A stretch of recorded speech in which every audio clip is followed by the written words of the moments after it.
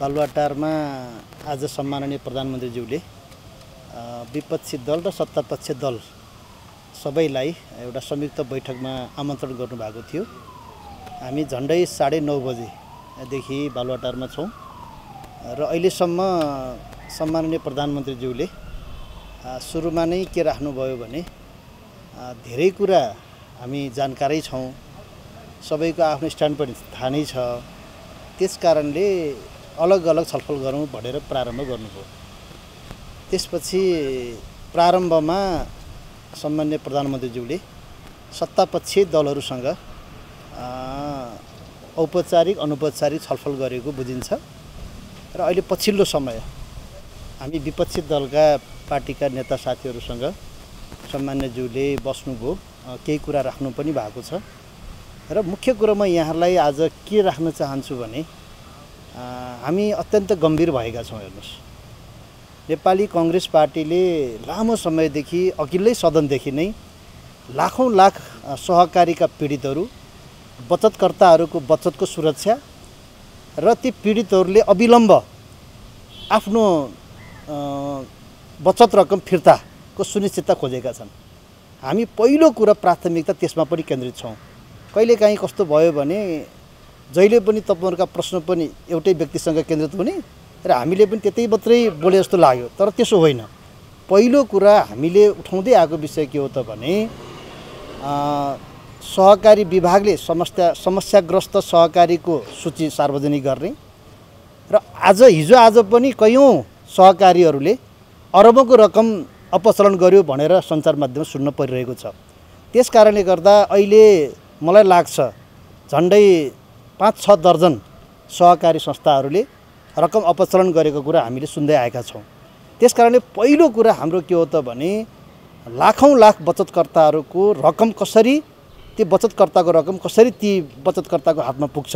पहिलो प्राथमिकता त्यहाँ राखेका छौँ र दोस्रो कुरा यहाँहरूलाई थाहा छ हामीले माननीय उप प्रधानमन्त्री एवं गृहमन्त्री रवि लामी छाने जीले गोर्खा मिडिया नेटवर्कमा रहँदा विभिन्न सहकारीबाट करोडौँको रकम गोर्खा मिडिया नेटवर्कमा र गोर्खा मिडिया नेटवर्कमा विभिन्न कम्पनी मार्फत रकमहरू त्यहाँ पुगेका छन्। विभिन्न व्यक्ति मार्फत कम्पनी मार्फत त्यो रकम पुगेको छ र त्यसको चाहिँ सही ढङ्गबाट छानबिन हुनुपर्छ भन्ने नेपाली कङ्ग्रेसको धारणा हो।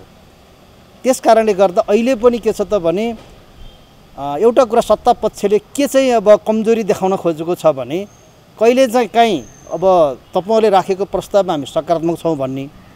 कहिले चाहिँ फेरि त्यो हामीले राखेको कुरालाई त्यसलाई गलत व्याख्या गरिदिने।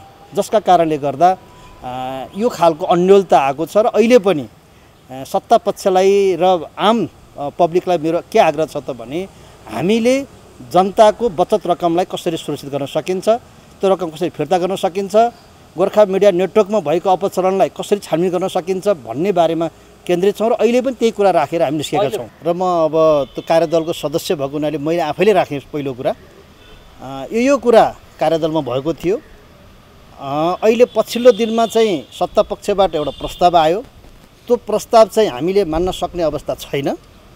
त्यस कारणले गर्दा हामीले राखेको प्रस्तावमा नै छलफल गरेर अगाडि बढ्दा उपयुक्त हुन्छ भनेर हामीले प्रधानमन्त्रीज्यूलाई सल्लाह दिएका छौँ तर प्रधानमन्त्रीज्यू चाहिँ अत्यन्त सकारात्मक रूपमा लाग्नु भएको छ है। यो कुरा पनि भन्नुपर्छ मैले। सामान्य प्रधानमन्त्रीज्यूले यो जुन डेडलक छ यसलाई चाहिँ आज बेलुकासम्म टुङ्ग्याउनु पर्छ भनेर भन्नुभएको छ। सम्भवतः साँझसम्म फेरि उहाँहरूले हामीलाई थप छलफलको लागि बोलाउनुहुन्छ। र तपाईँहरू जानकारी के गराउँ भने हामी पनि आन्तरिक छलफलमा छौँ। प्रधानमन्त्रीको जुन पहल कदमी चाहिँ उपयुक्त छ तर समग्र सत्ता पक्षको चाहिँ सोचे जस्तो चाहिँ यो समस्या समाधान गर्नेतर्फ भन्दा पनि यो समस्यालाई अल्झाइरहने खालको देखिन्छ। त्यसप्रति हामी सशङ्कित छौँ। मैले ठ्याक्कै शब्दकै रूपमा यही भएको छ भनेर भन्ने अवस्थामा छैन। तर प्रधानमन्त्रीज्यूले चाहिँ सत्ता पक्षसँगै पनि कुरा गरेर र हामीसँग अलग अलग कुरा दुवैतर्फको राय लिनुभएको छ। अब प्रधानमन्त्री गर्ने समन्वय त्यही नै हो। दुवै पक्षको राय लिनुभएको छ। र हामीले भनेको कुरा पनि अहिले सत्ता पक्षसँग राख्दै हुनुहुन्छ अहिले पनि। तपाईँहरू उहाँहरूसँग सोध्न सक्नुहुन्छ। हामीसँग भएको कुरा उता राख्दै हुनुहुन्छ। उता भएको कुरा हामीलाई राख्नु भएको छ।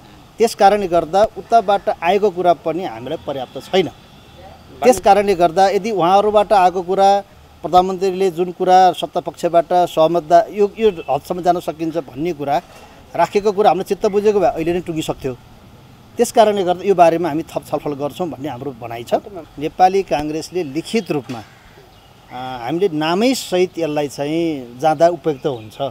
यसले रवि लामी छानेलाई खासै यसले फरक पार्दैन।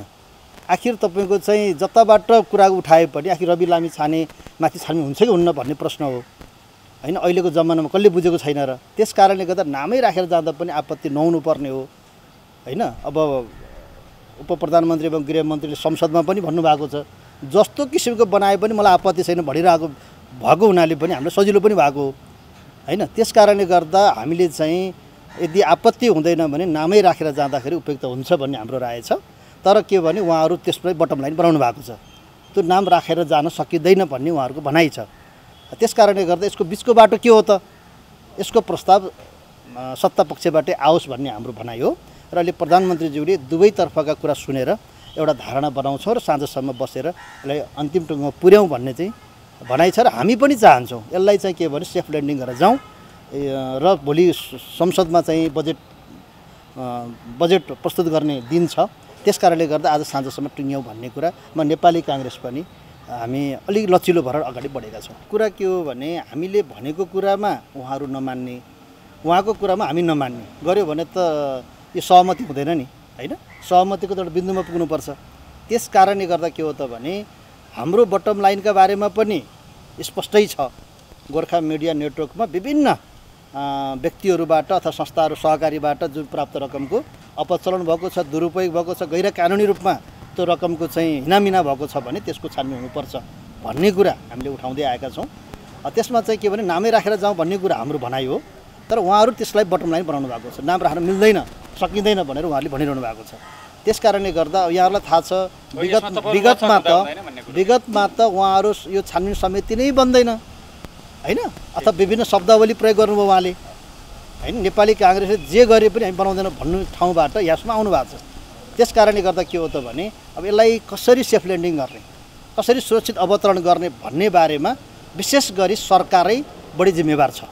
हामी विपक्षीले उठाएको मागमा सरकारले लचिलो भएर प्रस्तुत हुनुपर्छ भन्ने हाम्रो भनाइ यो लाखौँ लाख बचतकर्ताहरूको जुन पीडा हो त्यो पीडा तपाईँहरूले एकपटक कल्पना गर्नुहोस् त।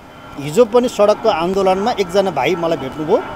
उहाँले के भन्नुभयो भने मेरी आमाले चाहिँ नब्बे लाख रुपियाँ स्वर्णलक्ष्मीमा चाहिँ राख्नुभएको रहेछ। त्यो पैसा अहिलेसम्म कसरी प्राप्त हुने त्यसका बारे बोलिदिनु पऱ्यो भन्नुभएको छ। नब्बे लाख रुपियाँ एउटा महिलाले स्वर्णलक्ष्मीमा राखेको पैसा अहिले चाहिँ डुबेको अवस्था छ। यस्ता धेरै छन्। मैले इक्जाम्पल मात्रै भनेको छु तपाईँहरूलाई। त्यस कारणले गर्दा यसबारेमा चाहिँ तपाईँहरू मिडियाका साथीहरूले पनि त्यो पीडितहरूको पनि आवाज राखिदिनु होला कृपया। के हो त उहाँहरूको चाहना? त्यस ढङ्गले जानुभयो भने चाहिँ यो हामीले उठाएको आन्दोलनले एउटा मूर्त रूप लिन्छ भन्ने लाग्छ। धन्यवाद।